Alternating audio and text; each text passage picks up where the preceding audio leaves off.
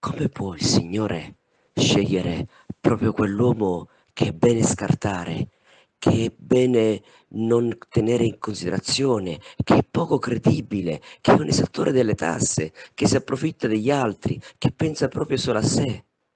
Ma il punto è proprio questo, non sono i sani che hanno bisogno del medico, ma i malati. E il Signore si serve di loro per far mostrare la grandezza della sua misericordia. È la misericordia di Dio, il distintivo dell'operato dell'uomo scelto da Dio, non la sua bravura, non la sua capacità, non la sua perfezione morale. Perché un uomo che a un certo punto si converte per la misericordia di Dio e percepisce di essere prigioniero del Signore, costui porterà al Signore un botto di gente. Che il Signore ci doni di essere non dei farisei, non dei perfetti, ma nella, misericordia che sperimentiamo nella nostra carne, mostrare l'opera di Dio agli altri. L'evangelizzazione passa tramite questo. Buona missione.